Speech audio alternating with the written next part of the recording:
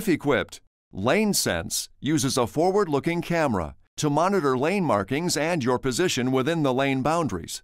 To activate the system, push the LaneSense button on the switch panel below the Uconnect display. A LaneSense On message will be shown in the instrument cluster display. To deactivate the system, push the button again.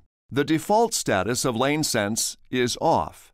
When both lane markings are detected by the system and the driver unintentionally drifts out of the lane, the LaneSense system provides a warning in the form of torque applied to the steering wheel to prompt the driver to remain within the lane boundaries.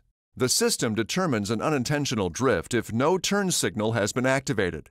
If the driver continues to unintentionally drift out of the lane, the LaneSense system provides a visual warning through the instrument cluster display to prompt the driver to remain within the lane boundaries.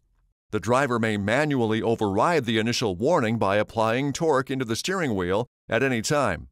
When only a single lane marking is detected and the driver unintentionally drifts across the lane marking without the turn signal applied, the LaneSense system provides a visual warning through the instrument cluster display to prompt the driver to remain within the lane. When only a single lane marking is detected, a haptic or torque warning will not be provided. Please refer to the instruction manuals on the Owner's Information DVD or jeep.com slash en slash owners slash manuals for complete details and other important safety information.